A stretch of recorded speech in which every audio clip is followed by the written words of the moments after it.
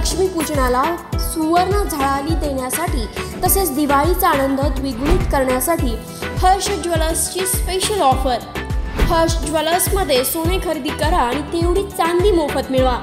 आमच्याकडे चोख सोन्या चांदीचे दागिने नऊशे सोळा हॉलमार्क ऑर्डरप्रमाणे तयार करून मिळतील.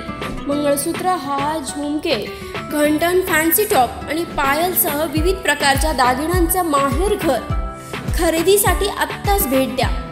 प्रोप्रायटर सीताराम मुचडे आमचा पत्ता नगरपालिका गाळा नंबर एकोणतीस लेंगरे रोड विटा. ठाकरे सरकारचा खरा चेहरा उघडा झालेला आहे.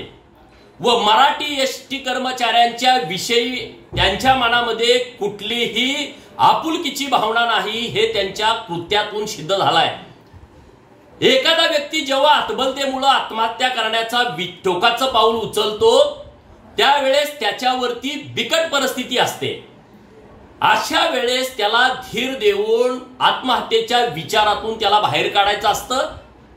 पण याने कालपासनं एस टी कर्मचाऱ्यांना बडथर्प करणे अवमान याचिका दाखल करण्याची मीडियाद्वारे धमकी देणे जागोजागी व गावोगावी पोलीस बळाचा वापर करून मंत्रालयाच्या दिशेनं निघालेल्या कर्मचाऱ्यांना रोखलं जात आहे यावरून सिद्ध होतंय की शांततेत चाललेलं लोकशाही मार्गानं चालू असलेल्या आंदोलनामध्ये अनिल परबांना उद्रेक करायचा आहे जेणेकरून पोलिसांच्या लाट्या काट्या हतबल कर्मचाऱ्यावरती मोकळीक करण्याची मोकळीकच अनिल परबांना मिळेल. यांच्या निजामशाहीमुळं जर कुठल्या कर्मचाऱ्यानं हतबल होऊन आत्महत्येचा जर मार्ग स्वीकारला तर त्याची सर्वस्वी जबाबदारी ही ठाकरे सरकारची राहील.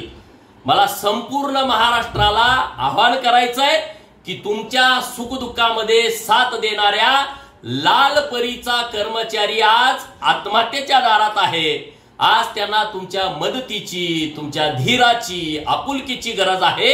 कारण एस टी कर्मचारी वाचला तर आणि तरच महाराष्ट्राची लाल परी वाचेल.